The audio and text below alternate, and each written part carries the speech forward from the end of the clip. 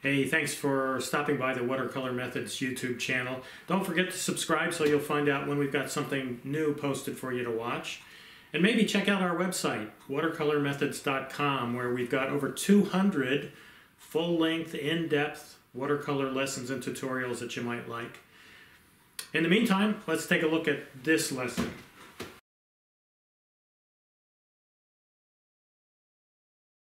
Fairly light back here in the background.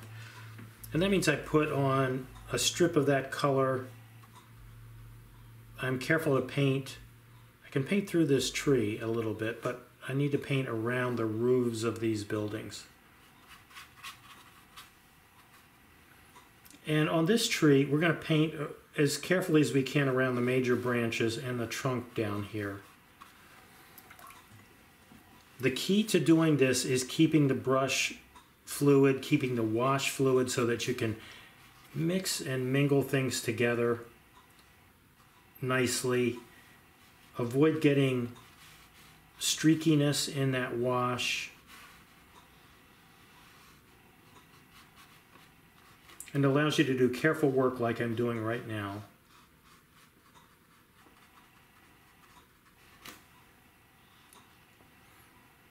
And still being able to go back and pick up uh, pick up that wash and to continue to work with it as you need. I can paint through this tree. I was starting to paint around it, but I can paint through that one. I can paint through this one because again, I know those colors are going to be darker later. As I work my way farther down towards the middle ground, I simply am adding water here. And I've already started to pick up some thick, slightly thicker color and dropped it in there which helps to simulate the look of distant trees. That background wash is wet. That allows me just to drop color in, let it blend and mix together.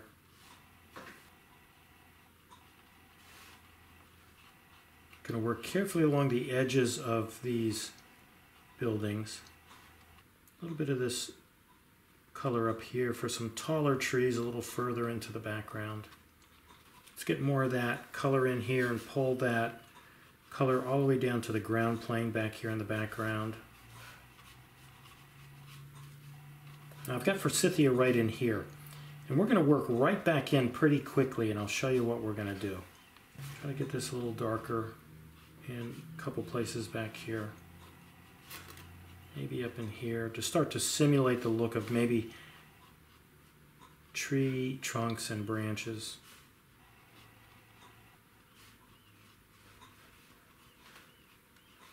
And I'm going to start putting that in right in here. It's going to mix and mingle with that violet from the background. The warm yellow, the cadmium yellow, I'm going to get in a little bit of that over here. And again, let that mix and blend a little bit. With clear water on the brush, I just pull that yellow over to the right, more of my cool yellow up in here. In this case, I get some clear water and let that, so that edge soften and blend up.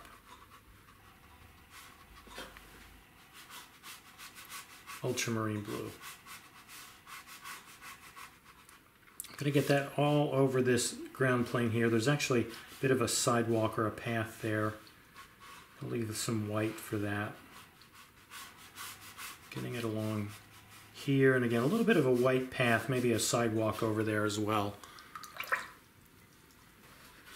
There's a sidewalk here, but I'll get the grass on this side of it. Now there's going to be a lot of cast shadow over here eventually, but we'll start with this just to get the green that we need for the grass on the ground plane.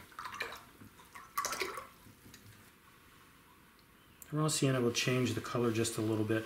We want it light. A lot of this area is catching sunlight, especially working our way down the street here. A little bit of green over here near where this tree is. Now, the colors are mixing and blending back in here, and that might disturb you. We're, you know, we like to keep our colors separate and clean, and I understand the impulse, but you're really okay if this happens. And if it's something that really bothers you, what you can do is clean out your brush and then blot it And then just pick up some of that extra color. Eventually there's going to be more color on here. We'll be putting some shadows being cast across the street. And that will all get changed and modified when we do that anyway. Let's get a stroke of that on there and see what it looks like. Notice I'm using the tip and sort of the side of the brush. Also notice I'm bringing it up to where the edge of the grass is.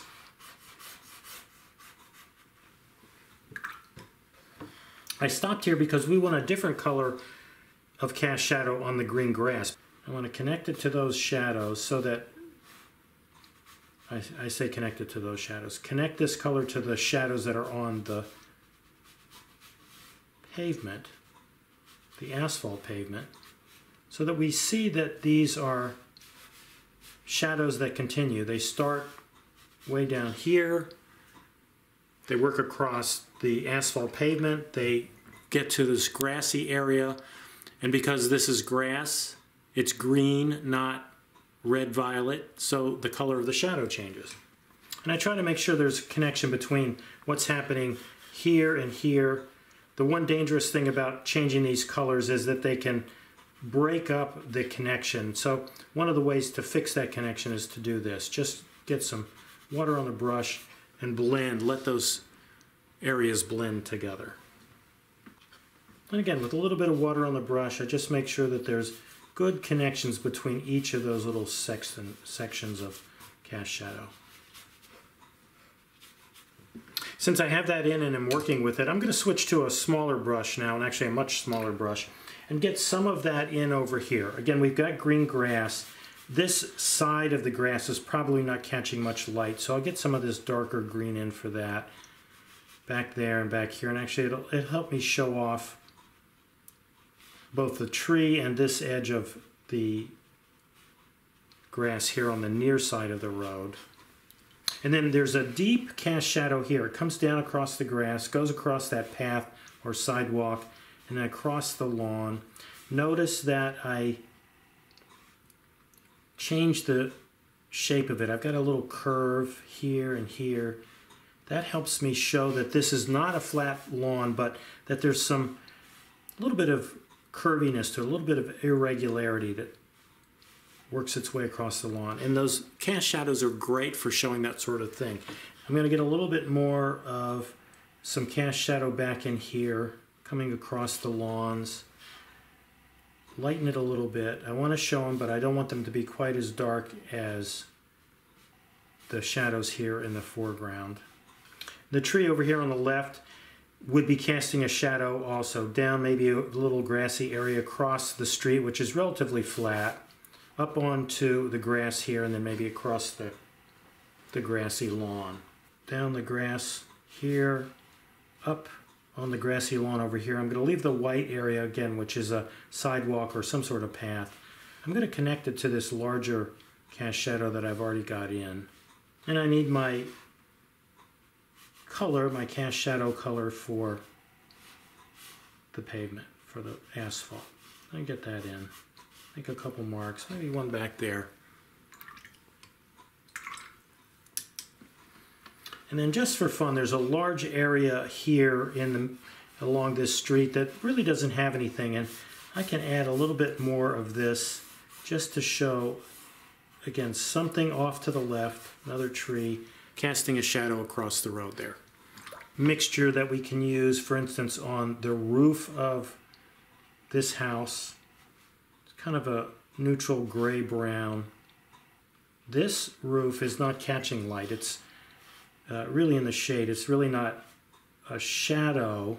It's not getting shadow, although we're going to put some cast shadows on there from trees. But it's away from the light, not catching direct light, so it's got some color and value to it, and that's what we're putting in now. One thing darker, but also more neutral. Uh, the branch of this tree is going to be dark, so I, I can paint right through that. Now notice how similar that color is to the colors around it, especially the colors in the background. I want to change that. I do want there to be a little bit of contrast and change there. I'm going to paint through this tree. Remember that when you paint through something like this, You probably don't want this hard edge to show. Since watercolor is transparent, you want to make sure that that's not a hard edge there. We're running through the tree itself.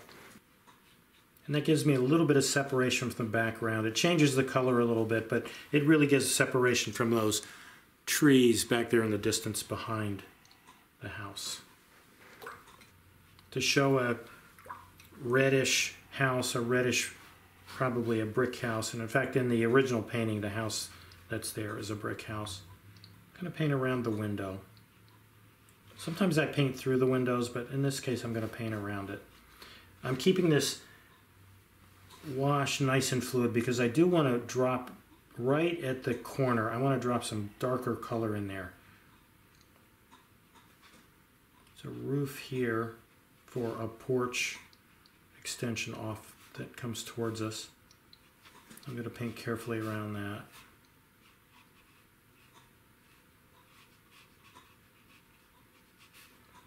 There's a post that holds up the roof, then more of this color, and in fact this is going to be pretty dark back under here.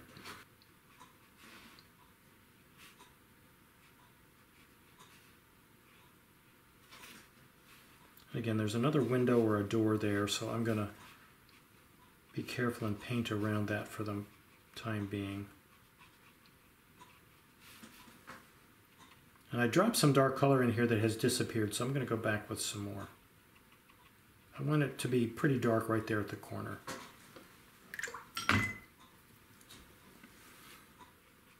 Blotted my brush and I'm going to blend this a little bit.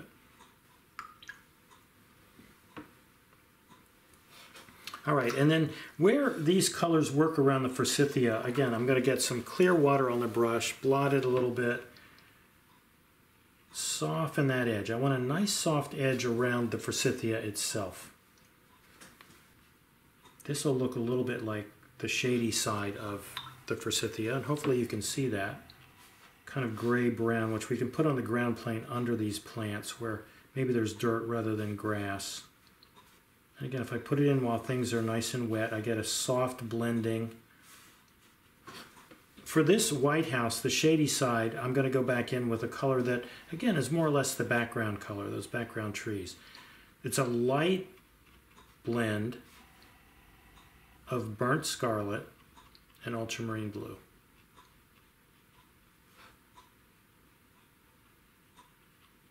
I'm going to pull it down pretty far. And again, I'll blend with clear water. I'm going to let that have a soft, going to get a little darker up here under the eaves. While that passage is still wet, I can put that dark color in, let it mix a little bit, blend it, encourage it a little bit if I have to with my brush, just to get a little darker up there. And as I did on the house here on the right, a little darker edge right there where we go from the lit side to the shady side. This is also a shady side of the house, similar color. Going to change it a little bit and actually warm it, and that means it's more red violet than this. A little more, a little brighter, a little less neutral. There's a post there and then post here. Look how well the light is actually showing now in the painting with what we've done. The, the really very economical strokes, very easy techniques that we've used, and we've already got this nice light look in our painting. Burnt sienna, and that gets us a really nice dark. Now part of this tree would be catching some light, so I'm going to leave a light edge right over here to the left. Get this dark color in, sort of running down mostly through the middle of the tree a little bit on these branches. Down here at the bottom, I, I use clear water on the brush to soften that up. And again, let that color serve as the light, the sunlight that's hitting the front of that tree. Blend those together well. Trees are cylinders, so they have what's called a core of the shadow, and that's what this darker area is on this tree. light sienna up here where there's some light catching, and I think on this branch, at least initially.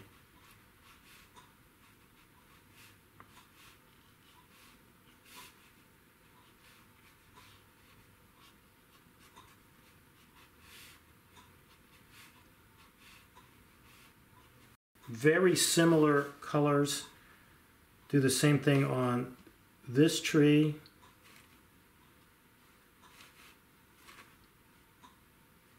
I'm going to do it on this tree as well.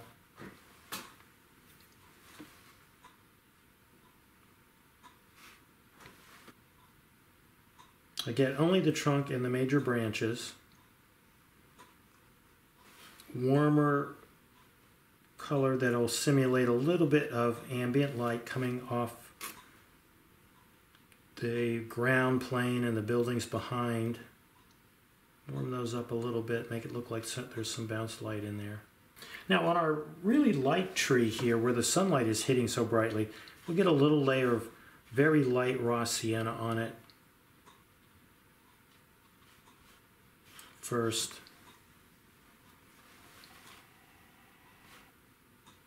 It's a little thicker than I wanted, but it just looks like an area where maybe it's not catching quite as much light.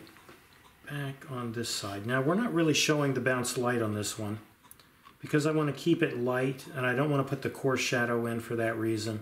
We may add a little bit more shadow later, but I want to start with, again, this lighter application of paint on that tree.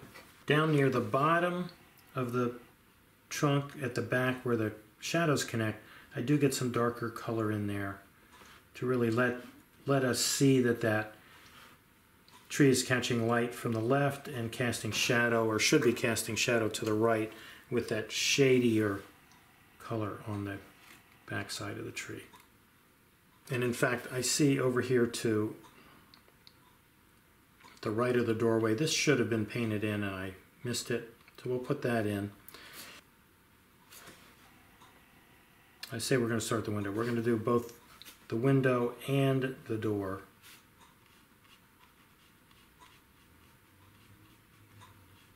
Up here on this part of what's essentially woodwork on that porch, this side of the post. We need a warm color for the roof. Not catching much light, it's turned away from the sun. I am just leaving a little bit of white sparkle here for this post, a little bit of white sparkle on that part of the roof, and that's going to serve well enough to show the sunlight on uh, that part of that building. Just to show a little indication of a opening for a window there, maybe one up here. To show things like window openings. Here maybe we'll show a couple different panes. I'm just going to make some strokes of paint like that. I think there's another window here. We'll do the same thing. A little mark, couple marks like that to show some more window openings on that side of the house. And I believe this is supposed to be a window here. It's so easy actually to get a really good looking effect with such minimal work. We've got another tree sitting back in here that comes out, sort of grows out between these two buildings.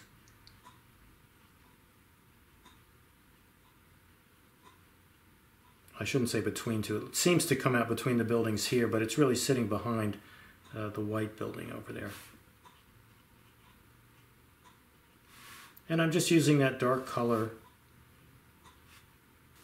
uh, and some indications of trees, tree trunks, branches will really help complete that illusion back there of distant trees and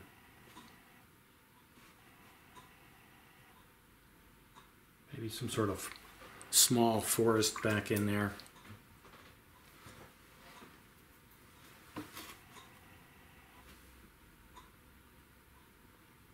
This kind of work is really fun, but it's also easy to overdo it. So I encourage you to not overdo it. Do a little bit at a time and then stop and take a look at what you've got. I'm going to add some more tree trunks back in here. Indications of individual trees or maybe branches coming off of this tree.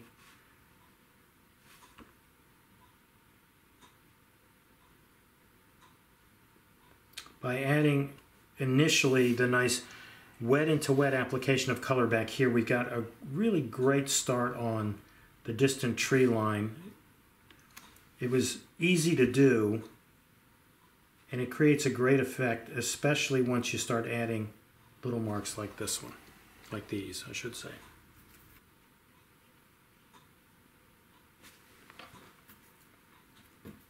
And since we're working with that color, we can go ahead and add more branches to some of these trees that are closer to us. We've got the rigger in our hand, we've got the color out and ready. We can add these branches. When you're adding branches to trees like this, the one thing to remember, among many I suppose, is not to add every branch. There's, it's not really necessary to add as many branches as you see on the trees that are out there in real life. What you need to do is add enough that the trees look real. They look like they're alive, for one thing, and that they've got enough kind of complexity to them that they look like they're full. Like the branches are, the trees are really full. They have lots of branches um, reaching out in all directions. In this case, I've got some overlapping that house. where you have, for instance, this one, a branch crossing a branch that's overlapping another tree. It's a good idea maybe to darken it. If it's not light enough, then darken it so that we can see the difference between the, this branch that's coming off of this tree and the tree that's back there. Window here on this house. I'm simply going to do that by getting some darker value in there, letting the blue-gray that we put on initially stand in for shade or shadow on the light colored trim work. And now I'm putting in color that essentially is as if we're looking through those darkened windows into the interior. The doorway, same thing. Uh, this time I'm going to put maybe just one window at the top in this door since it's a doorway and not a window. But then I'll get some of my more neutral color and indicate maybe edges of trim, decorations on the doorway itself. I don't need a lot here. Just an indication that this is something more than a window and it's got some sort of decorative quality to it. I'm going to paint a little bit around these windows and their trim pieces just to keep those showing.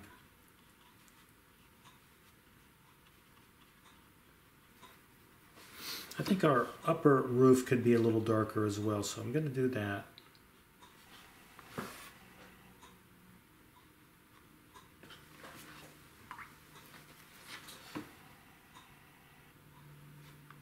And what this does, these darker values, is just bring more emphasis here, which is what we want to do. I'll leave that for the moment. I'll get my rigger out again and start to show some of the stems and branches for the forsythia. As I was saying earlier with the branches on the trees, this is really something that you want to be careful with and do only what's needed, only what's necessary. With that same color, I think we can add some finer branches here off of this tree.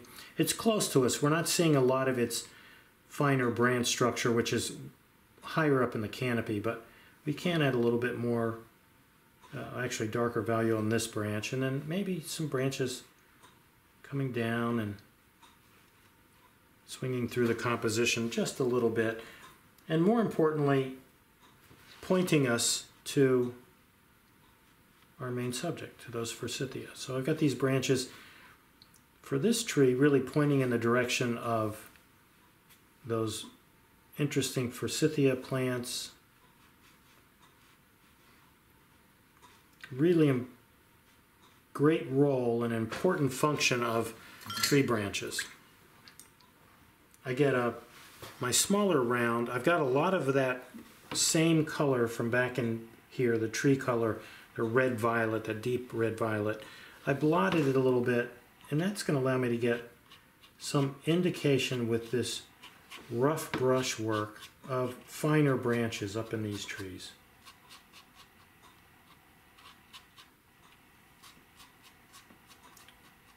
Like the doing the branches with the rigger itself, this is work that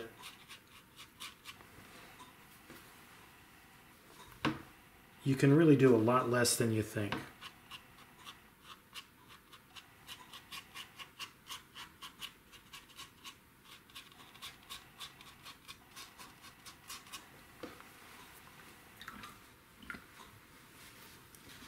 Great. I think we're done, but this is the stage at which you really it's a good idea to take the time to take a look at your painting, see if you really got the effect that you wanted, and really more importantly to see if there's something missing. Is there something I can add to really make this stand out and look like the painting that I envisioned when I started?